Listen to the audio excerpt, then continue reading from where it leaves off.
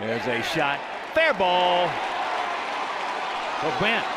Now being waved around. He's going to score on the double by Konerko, and it's a 6-3 game. Don't stop now, boys.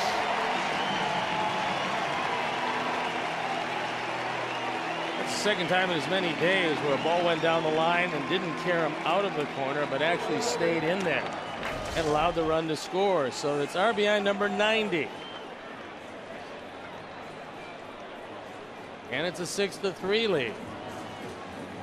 Paulie now with 22 doubles.